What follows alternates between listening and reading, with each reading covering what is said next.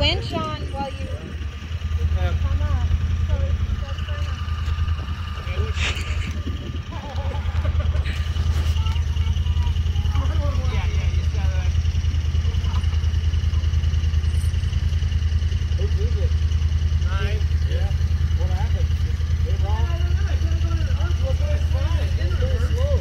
Yeah.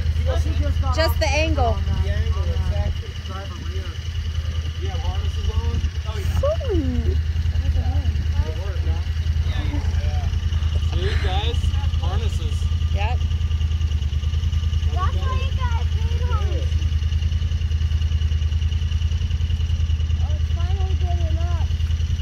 up. At least no hurt. Yeah.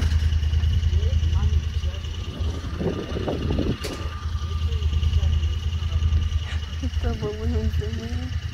That's like uh, that thing right there. It's a body bodyboard. Has a face on it and everything.